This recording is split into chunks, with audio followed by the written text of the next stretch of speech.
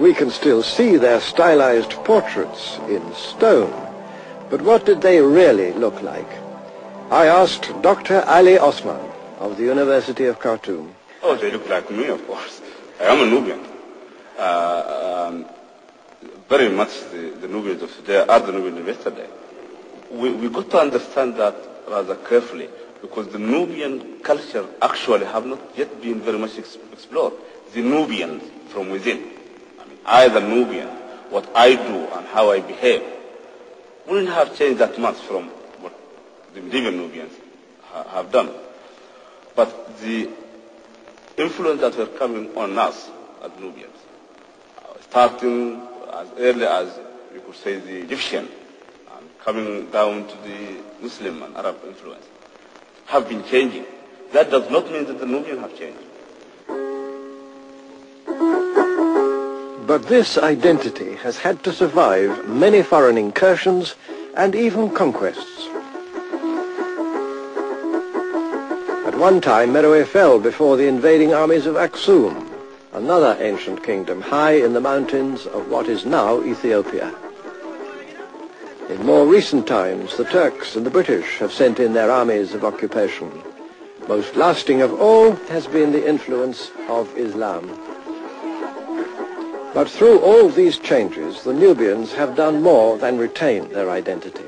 Just as they absorbed influences from elsewhere, so they too have had a deep cultural impact on their neighbors.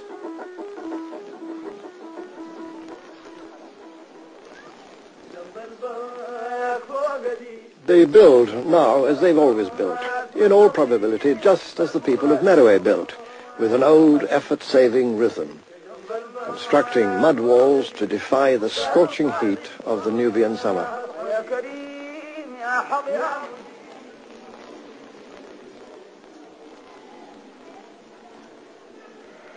Their beds are no different from those of their ancient ancestors, like this one in Khartoum Museum, with a pattern of headrest which is much the same here and right across Africa as those of 5,000 years ago.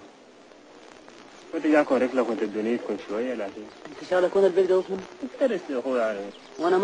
the traditional clan marks cut into this Nubian's face can be seen exactly reproduced on a stone relief which decorates one of the pyramids just a couple of miles away.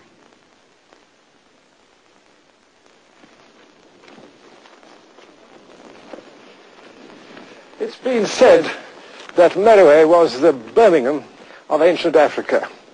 And that wasn't altogether a flight of fancy. For the people of Meroe had a very extensive iron-making industry. Just consider this enormous pile of industrial waste, of slag. It proves that among the major activities of the people of this flourishing city was to smelt iron. And here is a bit of the residue.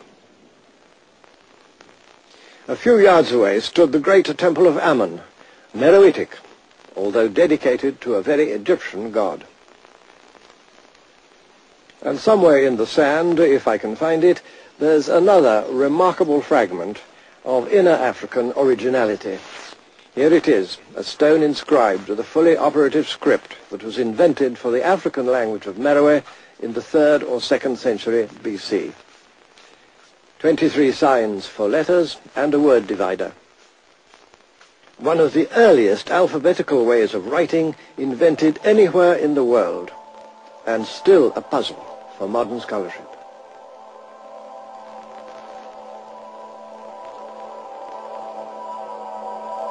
In wealthy houses surrounding the temple were found some of the comforts and enjoyments of Meroitic life.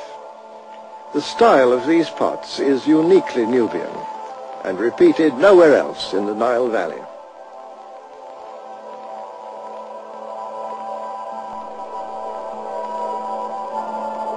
Half a day's journey from Meroe by modern transport, a little further into the sand and rock of the Butana Desert, there stands another complex of stone buildings, this time dedicated to the gods of Kush and not to the gods of Egypt.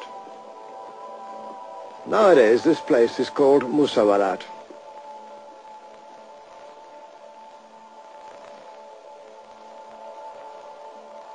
Strange hints remain among the ruins, like this old lion in the sand. But what were these buildings for? Perhaps the kings of ancient Kush strolled beneath these colonnades. Historians have offered this or that explanation. My own is that the principal function of this unexampled and powerful building made it unique in the ancient world. This function, I think, was for the taming and training of the great African elephant. That seems to be the best explanation of the remarkable stone ramps which occur here, like this one, and that one over there, and another long one going over there. We can accept that the taming of the African elephant bigger and more difficult to handle than its Indian cousin, had become a speciality of the Kushites of Meroe. With their skills, they converted this, the greatest of Africa's wild animals, into the military tank of the ancient world. When Hannibal of Carthage invaded Roman Italy across the Alps, he had 38 war elephants in his army. The skills of the elephant trainers of Musawarat may well have contributed to that legendary feat. These temple walls provide a surprising reminder of much greener times with abundant pastures for domestic grazing. All that has vanished. As the desert advanced from the Sahara, the civilization of Meroe disappeared. Today, away from the banks of the Nile, only nomads can survive. This well has never been known to run dry. The scene is exactly as it was when I first came here, some 30 years ago, and I doubt if it's changed very much in a thousand years.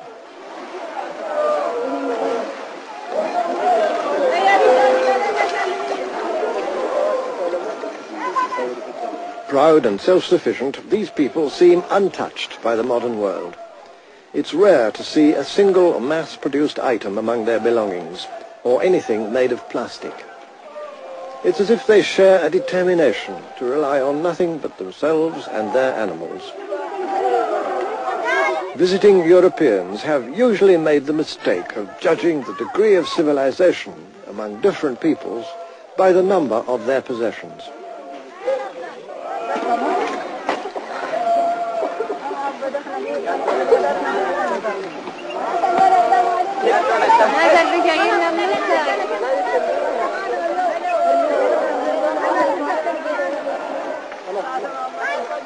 The ancient traditions of these nomads reach back to the very beginnings of history.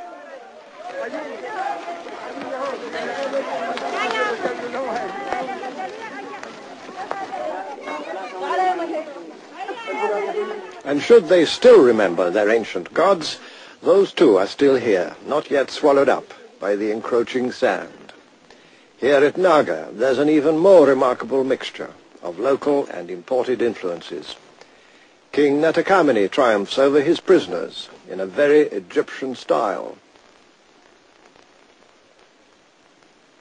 The python, on the other hand, was an inner African religious symbol, regarded in many lands down to this day as a figure of spiritual power.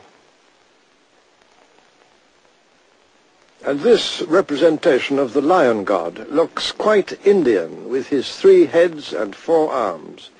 But he too is uniquely Meroitic. The kingdom of Kush collapsed in the 4th century AD. But evidence has recently come to light that some of its people migrated across the plains of Kordofan towards the Nuba Hills.